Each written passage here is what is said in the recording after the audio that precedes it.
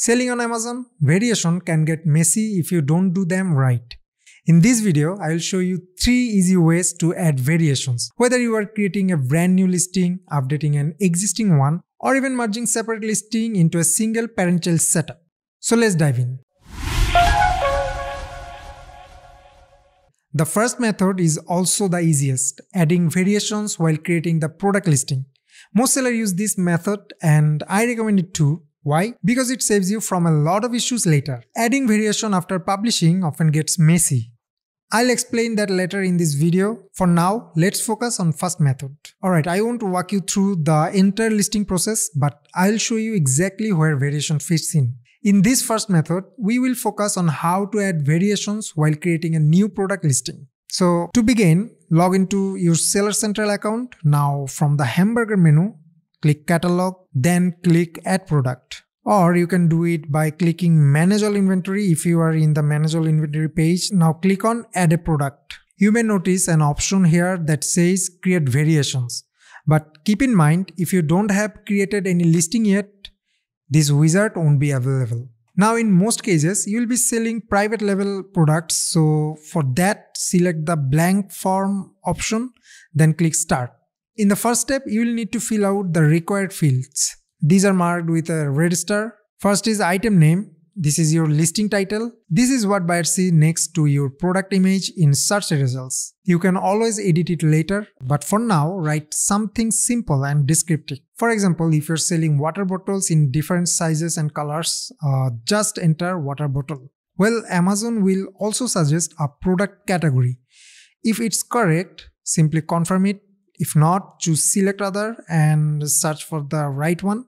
For example, I'm selling sports water bottles, so I'll type that in and select the category sports water bottles. Finally, in the item type keyword box, enter your main product keyword again, in this case, water bottle, and select the most accurate category from the list. Now, here is the important step. You need to let Amazon know that this product will have variations. To do that, simply click the variation box. Alright, so here is a tip. Even if you don't have variation right now, but you think you may have add them in future, check this box anyway. It will save you a lot of trouble later. If you skip it and later decide to add variation, the process become much more complicated. I'll show you how to handle that in the later part of this video. Alright, so depending on the category you selected earlier, Amazon will show different variation attributes. Since I'm using water bottles as an example, I can choose attributes like size and color. For this example, I will select both size and color because I want to sell bottles in different sizes and colors. You can select one attribute or multiple depending on your products. For the brand name field, you can enter your private label brand. If you are just testing or setting up a draft, you can put generic for now. You will now see a few extra tabs appear at the top of the page.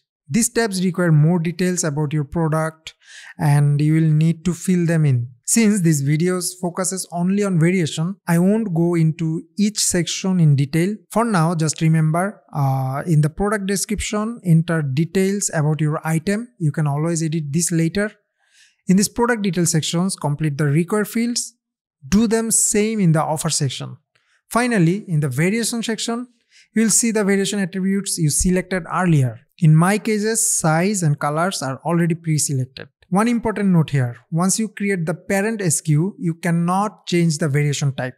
So make sure you choose the right attributes now. What we are doing right now is creating the parent listing. So the parent listing is like a placeholder that connects all your variations together. Each variation you add is called a child listing and they are grouped under this single parent listing. If this feels confusing right now, don't worry. As we continue, it will start to make sense. Since I am selling water bottles in different colors and sizes, now I need to define those attributes. For this example, let's say I have bottles in two colors like blue and orange and they come into two sizes. Let's suppose 10 ounce and 20 ounce. So in the color field, I will enter blue and orange. You'll notice that Amazon create rows for each color automatically. If you make a mistake, you can easily remove or edit them from here. Alright, next, in the size field, I'll enter uh, 10 ounce and 20 ounce.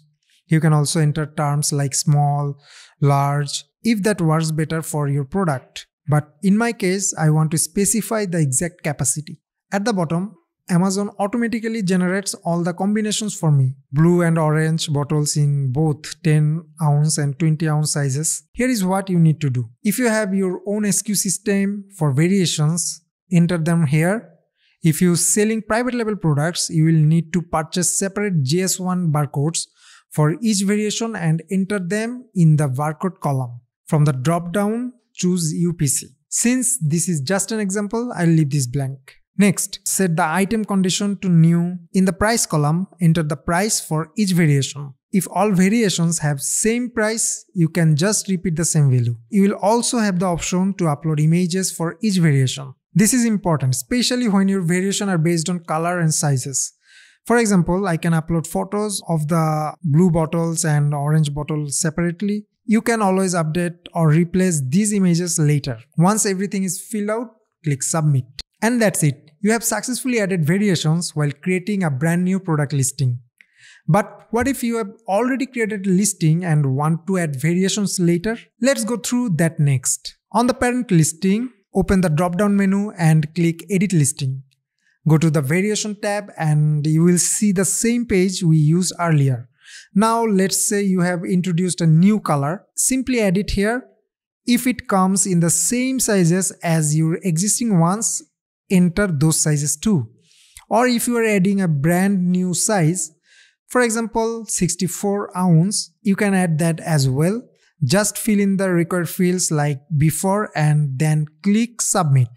It's that simple. But what if you already created separate product listings and now want to merge them into one single child parent listing? This is little more advanced, but there are three ways to do it. So method number one, add a standalone product to an existing parent child listing. For example, I already have water bottle parent listing with four variation. If I want to add another bottle listing on it, I'll go the parent listing Click edit listing and then variations. At the bottom you'll see a field called add existing standalone listing. Here enter the SKU of the standalone product you want to merge. So if I want to add another water bottle listing under this parent, I just copy the SKU from my manage inventory page, paste it here and click add. This will merge that listing into a variation family. Method number two, use the create variation wizard. Go to add products and at the bottom, click create variations using variations wizard. If you already have a parent child listing and you want to merge other standalone listing with it, choose the option add or update an existing variation family. Here, enter the ASIN of the parent listing, copy it from your manage inventory page and paste it here, then click add variation. Fill in the detail of your new variation. For example, a silver 10 ounce bottle. Select the size, color, condition, quantity, and then price. Then click save. If you have more variation to merge, repeat the same process. Otherwise, click generate template. Wait a while and you will see the new template ready to download. Once it's ready, download the file. When you open it, you will see instruction on how to use it. I recommend leaving this file as it is. On the template tab, you'll see all the current variation along with the new variation you just added. I don't suggest making changes directly in this spreadsheet since it's much easier to manage inside Seller Central. Instead, go back to the Add Product page, click on Spreadsheet and upload the file you downloaded. If there are no errors, click Submit and that's it. Your new variation will now appear under the parent listing. Alright, let's go over the final scenario. What if you don't have a parent-child listing at all? Instead, you have already created separate standalone listing. For example, I might have created four different listings for my water bottles, two colors and two sizes. Now the question is, how do we merge them into a single parent listing with variations? For this, we'll use the create variations wizard. This time, choose the second option, create a new variation family by combining existing standalone listings. You will notice this process has four steps. Let's go through them. Step number one, download the category template file. The easiest way is to go to add products, click on spreadsheet, then click on download blank template. Under update the product details, click on get product template. Here Amazon asks for the product type. I will search for water bottle. If the category is correct, click select. If not, click browse. Search again and choose the most accurate category. In my case, I'll select sports water bottles. Then scroll down, click on generate spreadsheet, wait a few minutes and download the file. Step number 2. Open the template file. You'll see instruction on how to fill it out. Step number 3. Fill in the template. In the first row under seller SKU, create your parent SKU. It can be anything descriptive, for example, a bottle parent. In the following rows, copy and paste the SKUs of the child listing you want to merge. In the brand name column, add your brand. In the update delete column, type partial update.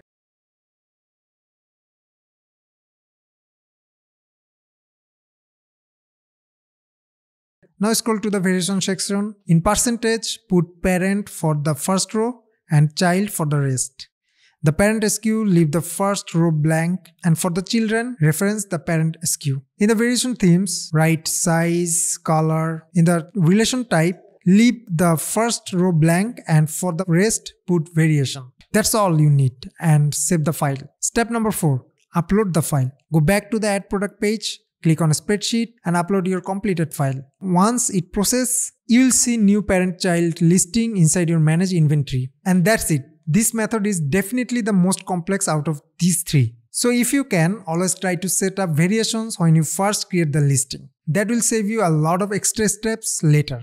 Still confused? No worries, just email us at info at ecomclips.com. At Ecomclips, we have got 12 plus years of experience, 300 plus e-commerce experts, and we manage thousands of Amazon choices and bestseller products worldwide. We'd love to help you too. Also, check out www.ecomclips.com we have got tons of resources there. And hey, if this video helped you, don't forget to like, subscribe and share. Got question? Drop them into the comment section.